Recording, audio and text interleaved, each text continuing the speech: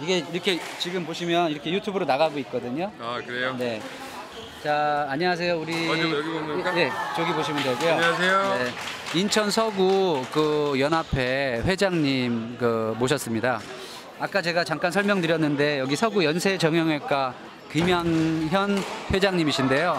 네, 인사 한번. 안녕하세요. 어, 여기 서구 스쿼시 연합회 회장을 거의 뭐 한 9년 10년째 하고 있는 어, 김양현입니다. 물론 이 지역에서 지금 연세 정형외과라는 타이틀로 어, 사업을 한지도 거의 한 19년, 20년째에 접어들고 있는 이 서구 토박입니다.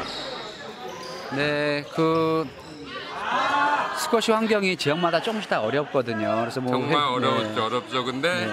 다행히 그 인천 지역이 아마 전국에서는 그나마 네. 많이 좋은 편인 것 같아요. 네. 특히 코트도 그렇고 네. 그 여름물이 이제 아시안 게임 때문에 네. 만들어지면서 굉장히 분위기가 이게 환경이 좀 좋아졌다고 할 수 있죠. 네. 그 전에는 이제 코트가 많이 없었는데 열우물 와 보셨겠지만 네. 정말 여- 여유 있는 코트, 네.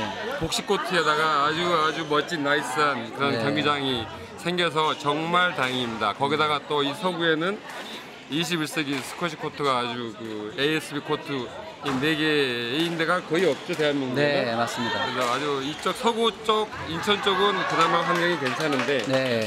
뭐 서울도 그렇고 많은 지방이든 어디든 간에 스쿼시를 칠 수 있는 환경이 이렇게 네. 많이 좋지는 않죠. 네, 네. 네, 뭐 우리 회장님 앞으로도 인천 서구 스쿼시 발전을 위해서 좀 어, 많은 좀 보탬이 돼, 돼 주시기 바라겠습니다. 네, 감사합니다. 열심히 하고요. 네, 네. 어, 또 우리 회원들 다치면 또 내가 또 책임지고 또 네, 네. 치료하고 있고 그, 렇거든요 네, 아까 말씀드렸다시피 우리 그 연세 정형외과 서구에 있는 연세 정형외과 좀 많은 내용 바랍니다. 우리 아. 스쿼시 그인 여러분. 네, 네. 감사합니다. 네, 감사합니다. 네. 네. 네, 우리 저기 회장님 모시고 말씀 들어봤는데요. 아, 멋쟁이신데요. 네. 딱 헤드폰을 딱 이렇게 해가지고. 네.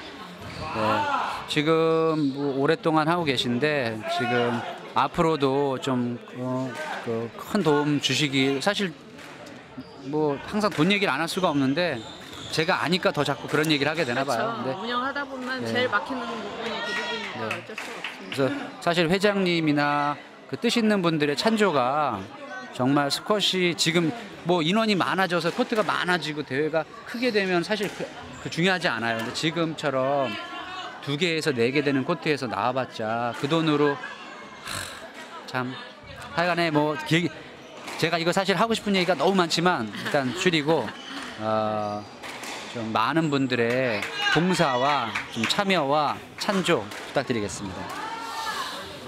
네, 아까 새내기 지금 8강 서동원 선수하고 정낙헌 선수 게임이 지금 1세트는 정낙헌 선수의 어, 우, 어, 우승으로 지금 저, 아, 점수를 저 세트를 가져갔는데요. 지금 이제 여기도 보면 알지만 새내기라고도 해- 하지만 참 잘 쳐요.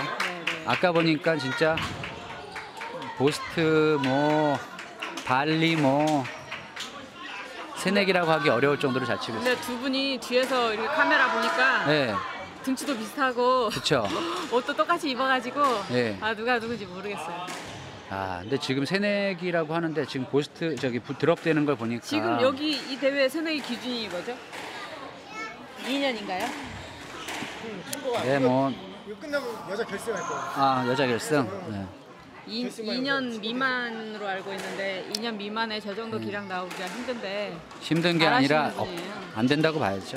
아 그러면 아니라는 얘기인가요? 근데 2년이? 그게 그거를 지금 저희 용인시에서도 지금 적극적으로 하고 있지만 참가 선수를 일부러 확인해 가지고 참가를 그 취소 몰수패를 한다는 게 되게 어려워요. 지금 그리고 그걸 아니까 또 우리 선수 참가 선수 여러분들도 그거를 적극적으로 생각을 안 해주시는 게 문제인 아니 근데 거죠. 부가 좀 세분화되면 그렇게 골라서 나갈 텐데 그렇죠. 어, 지금 말씀드린 순간 네. 정낙헌 선수가 네. 어, 두, 두 번째 세트도 가져가셨어요. 예, 그래서 남자 새내기 8강은 정낙헌 선수의 어, 우- 우승으로 어, 이 2대1 승으로 마무리가 됐